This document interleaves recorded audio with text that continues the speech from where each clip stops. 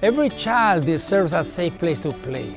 Every human deserves to have nature close to their home. Every person deserves a safe place to walk. Every cyclist deserves a safe street to ride. Every homeless person deserves a home. Every immigrant deserves a chance. Every senior deserves the care they need. Every indigenous person, every black person, every person of color deserves equal rights and equal opportunity. Everyone with disabilities deserves equal access. Everyone in the LGBTQ community deserves our respect. Every minority deserves our admiration for the journey they've taken.